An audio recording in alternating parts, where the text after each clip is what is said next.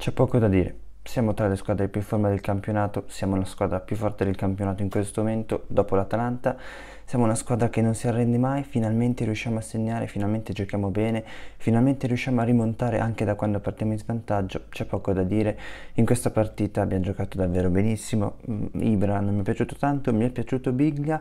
mi sono piaciuti ovviamente due giocatori che in questo momento sono i migliori del Milan, sono la nostra colonna portante, sono due giocatori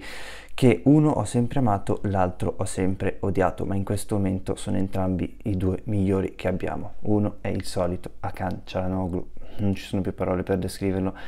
è il perno, è l'anima del Milan. Se gira lui, gira tutti. Oggi ha fatto due assist, ha fatto gol. Sapete, Cialanoglu, non c'è più niente da dire, lo dico in tutti i video. Ciala mi piace un botto e penso che ormai piaccia a tanti di voi, piaccia a tutti. Cialanoglu è il nostro numero 10 ce lo teniamo e sono contento che sia lui, ma soprattutto mi è piaciuto che sì, e non mi è piaciuto solo oggi, mi è piaciuto da tante partite a questa parte che sì, l'ho sempre criticato, ma c'è poco da criticare ultimamente che sì, è un giocatore incredibile per quello che sta dando in questo momento, spero che possa essere sempre così o che se davvero fosse questo momento di gloria venderlo, però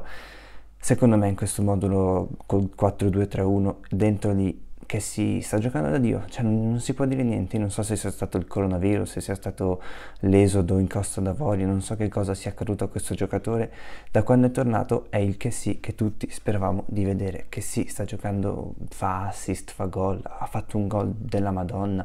i piedi che ha sempre criticato io perché sembravano quadrati, adesso sembrano effettivamente arrotondati, un giocatore incredibile, Hernandez, io ho perso le parole. Eh ragazzi, mm, non so cosa dire, sinceramente questo Milan mi sta piacendo un sacco, è difficile essere lucidi in momenti come questo. Lo scudetto l'anno prossimo è utopia, una stronzata, è tutto, però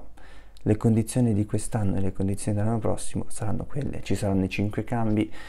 quindi non dico che siamo da scudetto assolutamente, però io dico che a queste condizioni lottare per la Champions l'anno prossimo bisogna farlo e non accetto questa volta mille stravolgimenti. So che arriverà Rangnick e qualcosa cambierà, cazzo, però una base di partenza c'è, non facciamo come l'anno scorso con Gattuso che abbiamo dovuto cambiare tutto per poi tornare lì, sappiamo che un rende bene da trequartista, che, che si rende bene da mediano, che Hernandez è un fenomeno, se è in grado di essere libero, facciamo di più, cerchiamo di, fare, di prendere una punta in grado di sfruttare tutte le occasioni che, che, che creiamo, perché anche oggi ne abbiamo create 20 prima di fare gol, e dai, dai, dai, dai, cazzo, ciao.